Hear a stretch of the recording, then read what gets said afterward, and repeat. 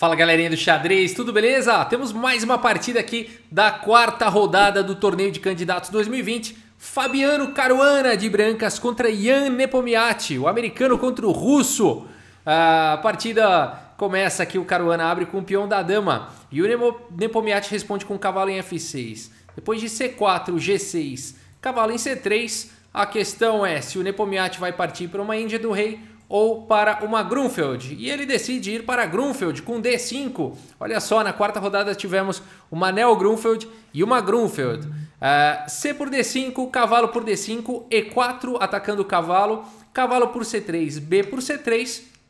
As pretas na Grunfeld permitem às brancas esse forte centro para poder atacar esse centro com força no futuro. É, bispo G7 foi jogado bispo C4 e agora C5, partindo para cima do centro. Cavalo em E2 protegendo, roque, roque aqui pelo Caruana e cavalo C6. O Nepomiati intensifica a pressão no centro. Bispo em E3 protegendo, B6 também trazendo uma proteção ao peão de C5. É, a partida segue com dama em D2 e agora bispo em B7, desenvolvendo o bispo. Torre de F em D1, C por D4, C por D4 e torre aqui nessa maravilhosa coluna aberta, torre em C8. Torre de A em C1, brigando pela coluna, cavalo em A5 e agora bispo em D3. É, dama D7, colocando a dama na segunda horizontal, horizontal conectando as torres. É, a partida continuou com H4, olha só, o Caruana aqui vai querer partir para um ataque aqui na ala do rei. Ele já está com dois bispos posicionados aqui de uma maneira bem interessante. Faz esse lance H4 e o Nepomiati tem que reagir. Ele começa a trocar algumas peças aqui com torre por C1, torre por C1, torre C8. E o Caruana avança, H5. E o Nepomiati troca mais peça. Torre por C1, dama por C1 e agora propõe mais uma, dama C8. O Caruana avança mais uma vez, H6 e agora bispo em F8, bispo em segurança. É, D5 pelo Caruana e agora E6 aqui pelo Nampomiati, mais uma vez atacando os peões centrais. Cavalo C3 protegendo, cavalo aqui em C4 atacando o bispo. Ah, bispo por C4, dama por C4 e dama em D2, tirando a dama da mesma ah, coluna aqui C e colocando mais um apoio também na coluna D. E por D5, cavalo por D5, bispo por D5 e aqui E por D5. O Fabiano Caruana tem um peão passado, né? um peão isolado, porém um peão passado na coluna D. E o Ian Nepomiati tem uma maioria de 2 contra 1 um na ala da dama. Partida é bem perigosa, além de tudo o Caruana tem um peão avançado aqui nesse ponto estratégico de H6, esse peão que incomoda muito, restringe a atividade do bispo e muitas vezes coloca o rei em problemas de checkmate quando a dama chegar em F6 ou até mesmo é, um cheque na fileira do fundo, muitas vezes sem esse bispo aqui é suficiente para dar um checkmate.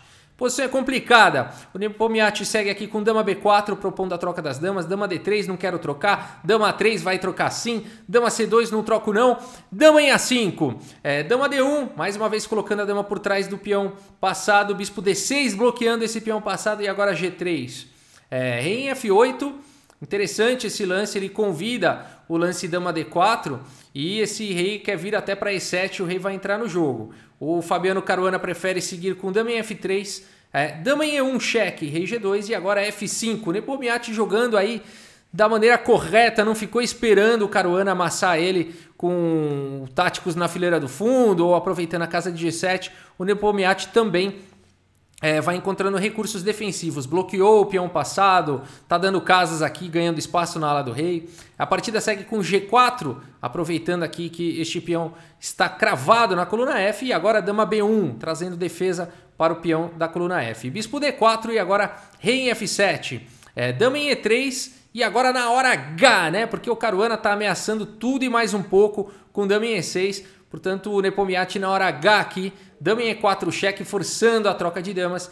É, dama por E4, F por E4, F3 aqui pelo Caruana, E por F3 cheque, rei por F3. E a gente tem esse final, então, cada um tem quatro peões. No entanto, o Caruana é detentor aqui é, de um peão passado e, a, e o Nepomiati tem uma maioria na ala da dama. O tema continua presente na partida. A partida segue com rei em E7, rei E4, rei D7, A4, é, bispo aqui em C7 e agora bispo em E3. A6 preparando o avanço aqui com B5. É, bispo em D2 e agora sim, B5.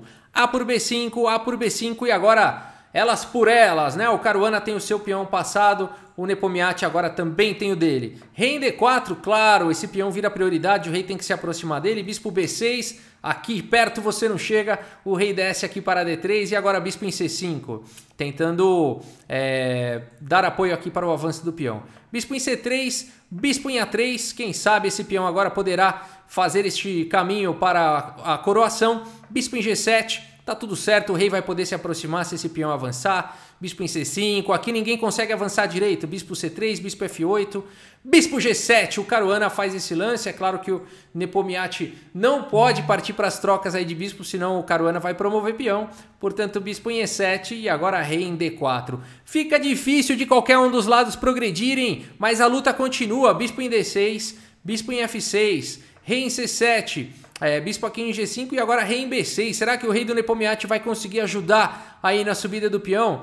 Nada disso, volta para lá. Aqui, bispo D8, cheque. É, rei em A6, não deixando o rei entrar na posição. E agora rei em D3 aqui pelo Caruana. É, bispo em F8, atacando o peão. Como defender esse peão? O Caruana não está interessado em defendê-lo. Faz o lance interessantíssimo. Rei D4, deixando o peão de H6 para poder realmente, depois de bispo por H6, tentar uh, ir para cima aqui e coroar o peão. Né? Nessa posição, o Nepomiate não aceita essa grande aventura e joga apenas com bispo D6 e ambos os jogadores concordam aí no empate, né? Realmente fica muito difícil dos dois pro, de qualquer um progredir aqui, né? Fica um esperando o erro do outro. Aqui ficou claro, o Nepomiate não capturou o peão, ficou claro que ele não vai querer correr riscos, né? E, e, e aí ambos concordaram no empate. Rafael, poderia ter capturado? Que coisa interessante que ia acontecer depois de Bispo H6. Poderia, eu acho, o jogo continuaria, não tem vitória aqui para o Caruana, mas realmente ficaria bem emocionante aqui. O Nepomiate ia ter que achar os melhores lances, o Caruana também. Uma possível continuação aqui seria Bispo por H6, é, Bispo em E7 já preparando aqui o corredor para o peão. Ah, o rei em B6 para encostar, né? Se caso o peão é, avance, o rei encosta e segura. Então a ideia aqui seria passar o rei para E6 e apoiar na subida do peão. Então rei E5 primeiro, bispo em D2, é, rei E6. Só que aí as negras também poderiam criar outro peão passado aqui na coluna H, né? com H5, G por H5, G por H5, e depois de D6, rei C6, D7, bispo em A5, segurando a casa de promoção. E depois de D8, promovendo para dama. Bispo por D8 e bispo por D8, a gente tem uma posição bem equilibrada. Vai dar empate. As brancas vão segurar o peão de H com o rei e o bispo vai segurar o peão da ala da dama. Né? Então, por exemplo, aqui uh, ah, B4, rei F5, B3, bispo em F6 segurando o peão da ala da dama. Aí rei D6, por, é, rei D5, por exemplo, rei G5, rei E6 atacando o bispo. Bispo em B2 simplesmente, rei D5, rei por H5 e aqui o rei vai encostar no bispo, vai passar o peão. O bispo vai ter que sacrificar nesse peão e vai empatar, né? Rei C4, rei G4, rei D3, rei F3, rei C2, bispo G7, B2 bispo por B2 e rei por B2, a gente também teria um empate nessa continuação, né? Mas o Ian Nepomiati preferiu não seguir para nada disso, simplesmente bispo D6 aí segurando toda a posição, né? Não dá para nenhum dos dois progredirem, por isso o empate. Vamos dar uma olhada aqui no relatório do chess.com, olha só, 99.3% de precisão para o Caruana e 99.3% de precisão para o Ian Nepomiati. 40 dos lances do Caruana foram os melhores contra 38 do Nepo. Três lances excelentes para o Nepo, nenhum para o Caruana. Quatro lances bons aí para cada um. Nove lances de livro foram avançando aí na Grunfeld. Uh, duas imprecisões do Caruana e só. E uma imprecisão do Nepo e só. Né? Isso aqui é o torneio de candidatos. Né? A gente vê aqui no gráfico realmente uma partida bem balanceada, bem equilibrada, apesar dos temas existentes aí é, na partida. É muito interessante realmente. E hoje a gente teve, portanto, aí todo mundo empatou. Né? As quatro partidas terminaram no empate. Vamos dar uma olhada aqui na, na, na colocação aqui do torneio. Deixa eu abrir para vocês. Olha só. Deixa eu abrir onde é que está. Aqui, beleza, olha só. É, Ian então, está aqui na primeira colocação. Bom, né, com dois pontos e meio nós temos Ian Nepomiati, o MVL e o Wang Hao. Tá? Os três jogadores estão com dois pontos e meio. É, com dois pontos temos Alexander Grishuk e Fabiano Caruana. E com um ponto e meio, é, o Kirill Alexenko, o Guiri e o Ding Liren, né? Então, é, essa, é a, essa são, os, são os resultados após ao término da quarta rodada. Lembrando que o torneio de candidatos é, ele, ele, é, ele é composto, são, serão 14 rodadas no total, tá bom? Então a gente ainda tem chão pela frente, tudo pode acontecer nesse torneio. Realmente está todo mundo muito próximo aí, né? E o torneio está bem disputado, está bem acirrado. Beleza, pessoal? É isso. Muito obrigado pela audiência. Um grande abraço para todos vocês e até a próxima. Valeu!